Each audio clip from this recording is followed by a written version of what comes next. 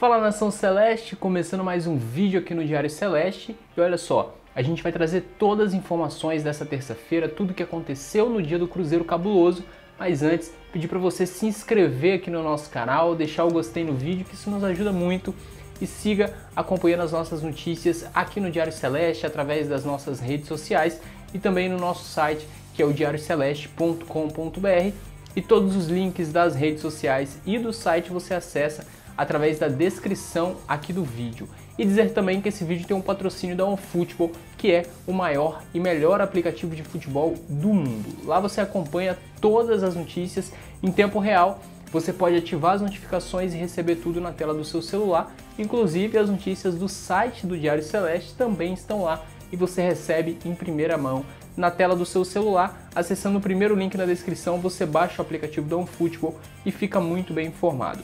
E agora a gente vai trazer todas as notícias do Cruzeiro. A principal novidade dessa terça-feira foi a chegada do Marcelo Moreno, que desembarcou em Belo Horizonte por volta de meio-dia, mas não teve recepção no aeroporto porque a torcida estava esperando ele lá na sede do Barro Preto, onde teve uma grande festa da torcida, mais de 500 torcedores, é o que foi divulgado, estavam presentes lá na porta da sede administrativa do clube no Barro Preto. O Marcelo Moreno chegou, é, conversou com a torcida por microfone ali, acenou para a torcida, cantou músicas e a torcida com expectativa enorme depois da chegada do Marcelo Moreno, que assinou com o Cruzeiro, mesmo com toda a dificuldade que o Cruzeiro vem passando nesse ano de 2020.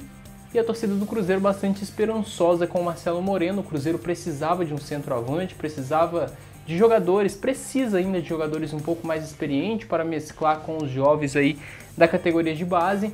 O Marcelo Moreno, que já está na sua terceira passagem pelo Cruzeiro, já atuou pelo Cruzeiro 93 vezes em 93 jogos. Ele vestiu a camisa do Cruzeiro e tem aí 45 gols com a camisa do Cruzeiro, 5 gols a menos que o Arrascaeta. O Arrascaeta é o maior artilheiro estrangeiro do Cruzeiro, ou seja, o Marcelo Moreno, se conseguir marcar pelo menos 5 gols, vai conseguir ultrapassar o Arrascaeta e se tornar o maior artilheiro estrangeiro do Cruzeiro que mais vezes marcou gol vestindo a camisa do Cruzeiro.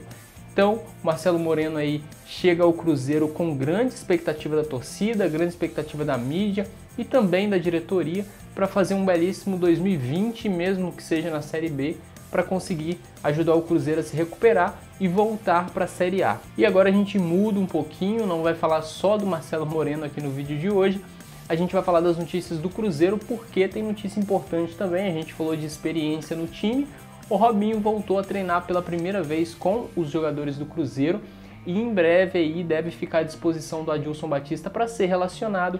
O Robinho que também fica no Cruzeiro, pelo menos até que receba uma outra oferta de uma outra equipe.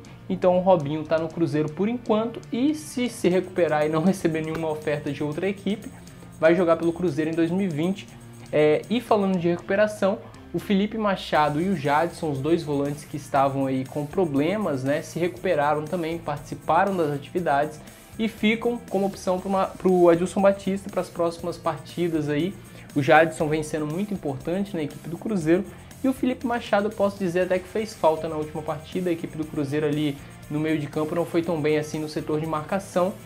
Espero que o Felipe Machado também consiga alcançar boas atuações aí com a camisa do Cruzeiro, assim como vem fazendo o Jadson, o Maurício e alguns outros jogadores que vem vestindo o manto celeste. E tem a situação do Fred também, que foi divulgada aí nessa terça-feira. O atleta foi liberado pela justiça para assinar com outra equipe e o Fred aí está cobrando um valor absurdo do Cruzeiro, que ultrapassa aí valor de 70, 80 milhões de reais. E a gente não aguarda aí de ver o que vai acontecer nos próximos capítulos dessa novela entre Fred e Cruzeiro. O Cruzeiro numa crise financeira gravíssima, o Fred veio com os valores aí absurdos para jogar no Cruzeiro, ainda tem aquela multa de 10 milhões ao Atlético, mas essa multa teoricamente pertence ao jogador e não ao clube. Mas isso vai ser resolvido na justiça e muita coisa ainda vai acontecer, né? E ainda falando sobre essa crise do Cruzeiro, tudo que vinha acontecendo no, no último ano, nos últimos anos no Cruzeiro, tem aquela denúncia de uma possível rachadinha de empresários com os diretores do Cruzeiro que deixaram o clube é, no, fim, no fim do ano passado e o Carlos Ferreira, que é aí o gestor de futebol do Cruzeiro, diz que o Cruzeiro não vai negociar para quitar as dívidas com esses empresários e e agentes de atletas até que a denúncia aí seja investigada pela Polícia Civil, por Ministério Público, seja quem for. Então o Cruzeiro aguarda as investigações para efetuar ou não o pagamento a esses empresários e agentes de atletas aí que pertenciam ao Cruzeiro. Muitos desses atletas já até saíram do Cruzeiro, mas o Cruzeiro tem muitas dívidas aí com esses empresários e a diretoria do Cruzeiro vai esperar essas investigações para que faça ou não o pagamento dessas dívidas. Então esse aqui foi um pequeno resumo das notícias do Cruzeiro, Cruzeiro que volta a campo na próxima quinta-feira para enfrentar o Tombense.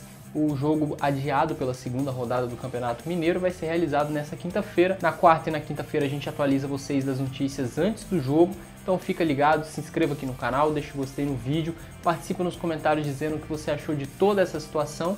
E ainda teve aquela situação do Wagner Pires no transporte por aplicativo ou táxi, não sei, conversando com o motorista, falando da situação do Dedé, uma situação ali bem constrangedora tanto para o zagueiro do Cruzeiro quanto para o presidente do Cruzeiro, porque se tem alguém muito errado nessa história é o Wagner Pires, que era presidente, era o responsável pelas assinaturas dos contratos e não fez nada, podia ter feito, não fez nada e agora não adianta ficar falando também, né? Então comenta aí, participa nos comentários, deixa o gostei no vídeo e siga acompanhando o Diário Celeste aqui no YouTube diariamente, trazendo conteúdo exclusivo sobre o Cruzeiro.